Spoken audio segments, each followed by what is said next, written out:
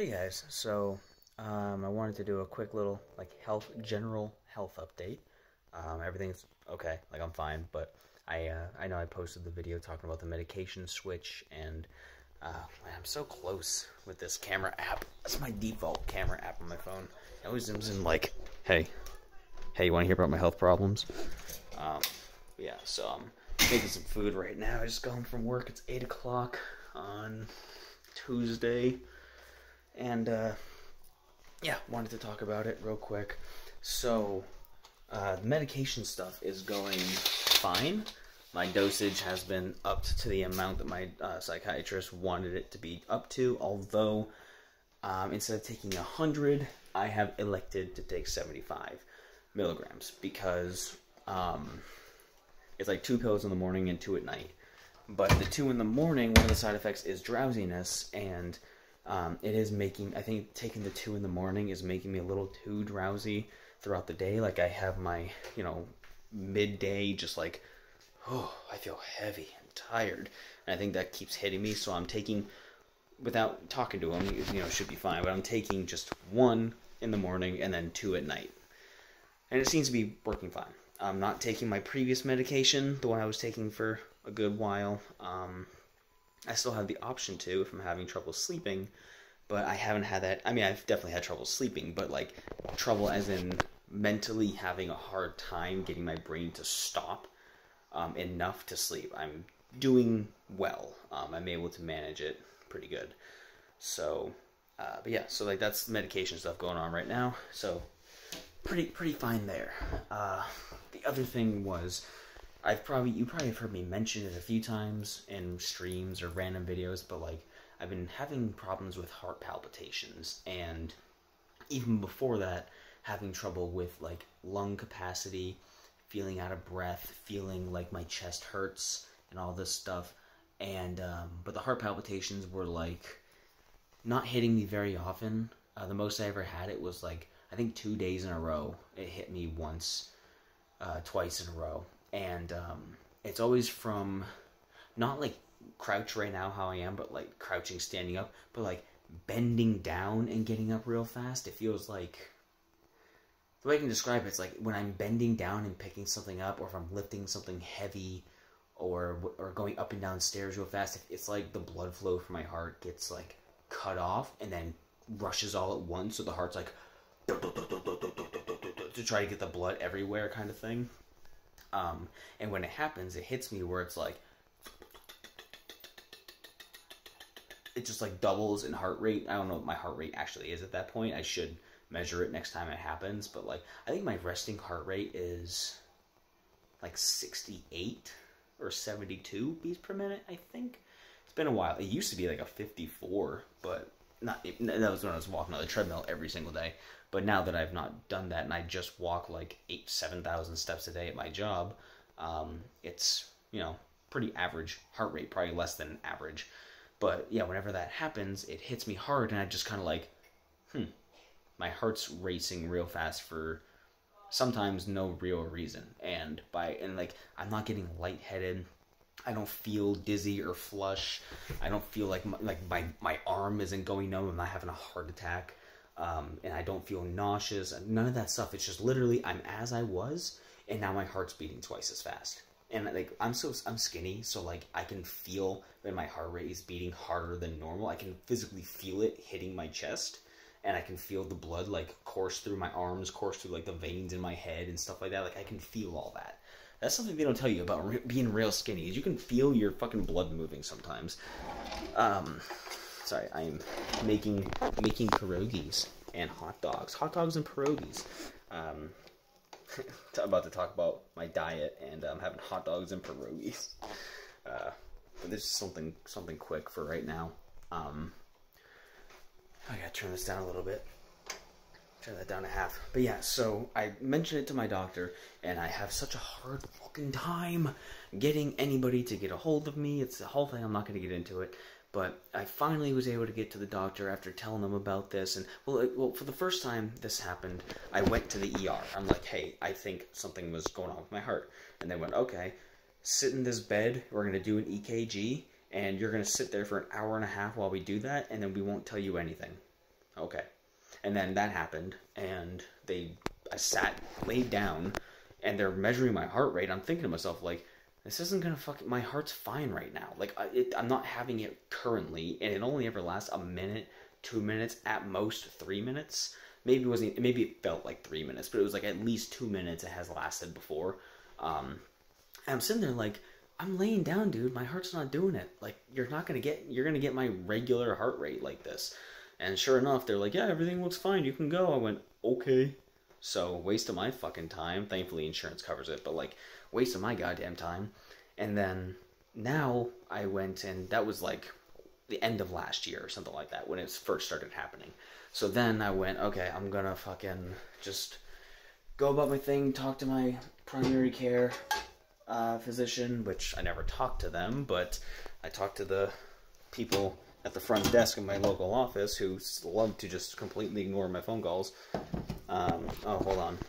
Sorry, I had to get my pierogies out of the water without dumping the water because I'm using that water for hot dog for me and Dylan. So, anyway, enjoy, enjoy my mustard. So yeah, I'm telling my doctor about all this stuff, and I finally am able to get in there pretty recently for an, EK, an EKG at my doctor's office, at the one in my town. So I can finally go and have them get new readings because they're like, okay, we want to get you on what's called a Zio patch, which is going to measure your heart rate for an extended period of time as you go about your day so we can see how it is when you're active, when you're resting, and if you have one of those palpitations again. And I'm like, can we just like throw me on a fucking treadmill or have me do like a bunch of like, um, I don't, they're called, uh, the trigger word. They're called suicides. I think we did them in school or whatever. It's where you go like down, bam, drop, push up, back up, jump, and like that whole thing. It was either that was suicides or no, that was that burpees or something. Because the suicides was back and forth at the basketball court lines and whatever. I don't remember, but here, here nor there. So I'm thinking like, can you guys just like trigger one of these things so we can get the readings for what that is, so you can see how irregular it is and what causes it. And anyway, it's a whole it's a whole fucking thing. It's been ongoing for months. So we're getting the Zio patch, and I finally got a call back about getting that um, next uh, next Tuesday. I have an appointment to go get it put on, and I've never had one before, so I'm curious to see how that's gonna go. Um, I'm gonna have look like Iron Man with something sticking on my chest, or is it like a little patch or something? Like I just like a little patch with a USB that offloads data. I don't know how the fuck it works. Is it waterproof? Can I have sex with it? I should plan sex. I have to find someone to plan sex with, so I can measure my heart rate. um, but so we're doing that, and. Uh, another thing I've been concerned about is like, well, one of the big things that millennials around my age are getting sick from um, on a, a huge trend right now is colon cancer. So I'm like, huh, I should look into colon cancer. I should maybe go get someone to shove a camera in my asshole and see what's up with that. Uh, but getting that schedule for just because I said so is obviously not reason enough to approve it for the insurance. So I have to figure that out. I'm gonna talk to my doctor about that and see what I can do because I'm I get worried about that kind of thing. And even though I don't have that bad of a diet, I don't usually consume hot dogs. Hot dogs are like a maybe two or three times a year I'll have a hot dog or two. It's not very often. And if I do, I don't load it with like fucking chili and shit. It's like I'm having a hot dog with some mustard. And they're little hot dogs too. They're not even big hot dogs. And I'm having pierogies, which is just fucking dough and mashed potato. I'm not even putting butter on that. So it's like my diet's not bad. The worst thing I have is pizza and energy drinks, but that's subsidized with water, like 20 ounces of water before bed every day. The energy drink is consumed over like a six hour period, so it's not like I'm pounding fucking monsters and just putting caffeine straight into my veins. Hell, I have way less caffeine than I ever used to have. I used to have eight to 900 milligrams of caffeine a day. A day. I'd be drinking that shit until like 8 p.m. and still that was the floor, not my pooper. Um, I'd be drinking that shit all day long, and then over the years, I have gone less and less and less, and I'm down to less than 200 milligrams a day. Sometimes I'll have a monster, or something that's 300 milligrams, or like a bang that's 300, but that's the only one. And most of the time, I don't even finish it because those ones that have the more more caffeine in them um, are less carbonated, and I want the carbonation. I don't drink energy drinks because I want caffeine. I don't give a fuck. I don't give a flying doodle about caffeine. They just taste yummy. they just taste good in my tummy. Like, who doesn't want a cotton candy flavored sparkling drink? That's awesome. And Red Bull tastes good, and like, you know, classic sugar free Rockstar tastes like gasoline, but I like it. They taste good. I just wish there were caffeine free versions of the energy drinks I want to drink, of the brands I want to drink. If uh, that's why I drink them. And yeah, I get headaches if I don't have caffeine, which is just because it's you know your brain's used to having it, your brain's used to getting that. So without it, but what I'm trying to do right now is I just recently bought on Amazon, not sponsored, but if you wanted to sponsor me, I'll take it. It's just one of these like mini blenders. It's a little blender right there. It's like one serving. It's like 16 ounces or something. And I'm just gonna make myself smoothies in the morning with chia seeds and blended fruit and stuff like that. And I'm using instead of milk or water, I'm using um, like V8 Deliciously Green and stuff like that as the liquid for it. And I've been drinking some kombucha, just trying to clear up my colon, trying to clear up my gut, just in case I want to have a healthy gut biome. Because I'm stressed about getting colon cancer. Because I used to get hemorrhoids real bad. And last year, I had such bad um, rumble tumble that I literally whited out on my toilet and cracked my fucking head open. I didn't crack my head open, but I fell face first onto the floor and whited out for a few seconds. And that was random. That's I've never whited out before from anything like that. I've definitely got pains hard enough to where I was lightheaded and had to lay down. That has been happening throughout my life, so it's nothing new. Even before I was consuming any energy drinks, I've always had that. So I think it's just like maybe a really rare IBS or just like a weird blockage or something like that that happens. I don't know, but I don't have regular shits either. So it's just I'm wait I'm getting that Zio patch and I'm kind of curious because that's kind of sounds like fun. I like to I like statistics and I like personal stats, so I want to see what my health what my heart stats are. Are they better than yours? Probably not, but I don't know. So that's go that's what's going on with that and. I am stressed, I am worried because it has been happening lately where without the palpitations, I've still been getting like pressure in my chest or just from like running around at work and lifting heavy stuff and walking back and forth rapidly and whatever, just getting chest pains and sometimes hard to breathe or um, sometimes it feels like I have like hunger in my chest. Like right here in my chest, I'll get that like empty, pitted just gurgly feeling, but it's not actually gurgling, but it kind of feels like that feeling you get in your stomach when you wake up and you're really hungry. It's that empty, pitted feeling, but like in my chest. So I don't know if that's my heart or my lungs, because sometimes it feels like it's both, and I don't know. And what I've found mostly is either um, it could be some tachycardia thing, um, it could be POTS, because a lot of people are developing or um, are yeah developing POTS syndrome, from after having COVID. Uh, and I'm not a COVID conspirator or anything like that. I got my vaccines. Um, but I will say, um, I didn't have any of this stuff until I, after I got the vaccine.